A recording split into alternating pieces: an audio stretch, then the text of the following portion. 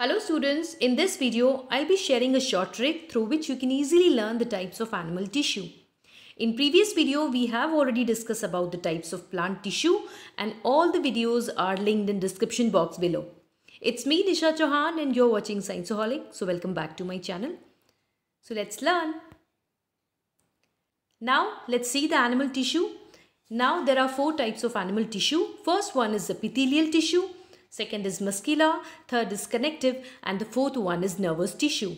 Now the epithelial tissue is for protection and it is the outer covering of the animal.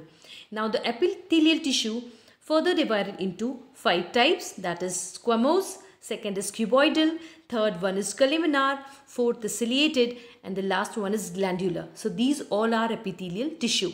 Now let's see muscular. Muscular tissue is for movement and locomotion.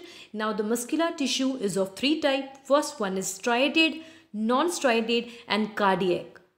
Now let's see the connective tissue. Connective tissue is of five types. First one is areolar, second is supporting. Now the supporting has two types that is tendon and ligament. Now the third is adipose. Fourth one is the skeletal. Now the skeletal has two type that is cartilage and bone and the last one is fluid that is blood and lymph. So these all are connective tissue. Now let's see the nervous tissue. Nervous tissue is for control and coordination. Now this is all about animal tissue. Now let's see the trick to learn animal tissue. So just now we have seen there are four types of animal tissue. Connective tissue, muscular, nervous and epithelial. So for connective used word CO for muscular, it's MU.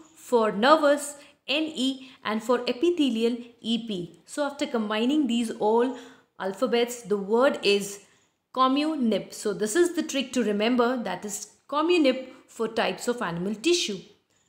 I hope you all have find this video interesting. If you find this video helpful, please hit the like button and do subscribe this channel for more videos.